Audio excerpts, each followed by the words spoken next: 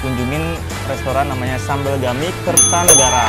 Nah, jadi hari ini kita juga udah pesan beberapa menu makanan. Ini ada paru, ini ada ayam, ini ada iga, dan juga ada sotong kecil. Sotong kecil. Nah ini uniknya dari Sambal Gami ini dia pas masaknya, Masaknya itu, itu? langsung dibakar sama Iya. api ya tadi. Terus di bawahnya ada sambalnya langsung. Ah, gitu. langsung Nama sambalnya ya. tuh ada sambal gani sama sambal hijau. Sambal hijau Jadi ya. kalian bisa milih sambal yang mana yang mau kalian pilih. Tapi ini kayak Tuh. pedes banget ya Kita Pak. bisa milih level 0 sampai level 4. Sampai level 4. Tuh. Tapi katanya dengar-dengar yang nol itu juga udah pedes ya. Parah. Gak tau sih, tapi ntar kita cobain aja kali ya. Coba Karena kita kebetulan pesan level 0.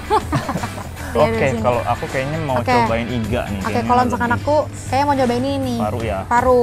Hmm, ini tuh lihat parunya. Hmm, Coba, coba. sama sambalnya. Ini kita pakai yang level Ini- 0. Oh, kamu level 0 ya. Mm-mm.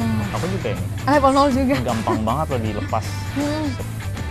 Oke, aku Campur coba sambal. ya kali ya. Ini aku campur sama nasi hangat. Hmm. Hmm. Iganya empuk banget, sumpah. Hmm.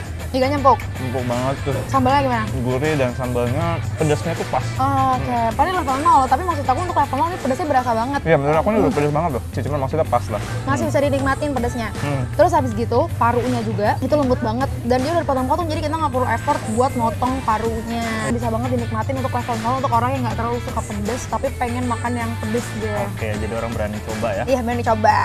Nah, kita lanjutin ke dua menit selanjutnya. Nah, Dua menit selanjutnya. Jujur ya.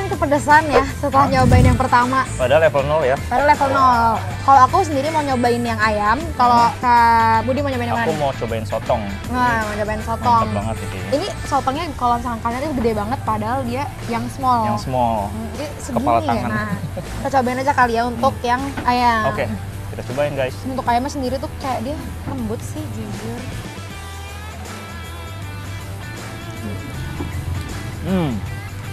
Gimana? Tapi kalau sambal sama es yang lain pedas, kayaknya ayamnya udah diungkep gitu loh.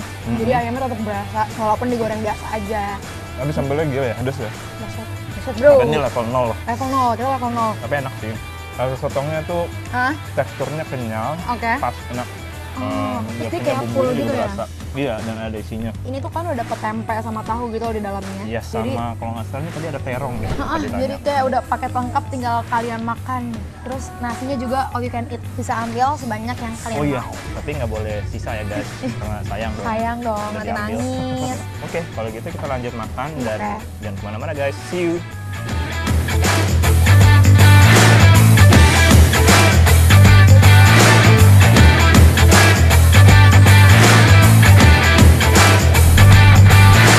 Nah, berhubung kita udah sampai di Purwokerto, nggak afdol nih guys kalau kita nggak nyobain kuliner legendaris mereka, yaitu tempe mendoan. Jadi kita ke tempat tempe mendoan mie rasa yang buset size mendoan di sini tuh gede-gede banget loh guys. Dijamin kalian puas deh, mana harganya juga bersahabat banget. Nah, di sini tuh jual dua macam tempe guys, ada yang garing kriuk dan mendoan biasa.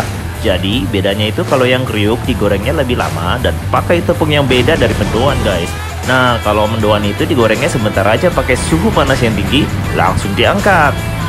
Tuh, kalian lihat sendiri, seru banget kan? Hmm. Nah, mumpung masih panas-panas gini, kita cobain yuk dalam mobil. Hmm, wangi banget. Yummy, duh masih panas gini tapi tetap enak loh. Nah, kalau gitu sampai di sini dulu ya guys. Kita jumpa lagi di kota berikutnya, yaitu Mituring Goes to Semarang. See you.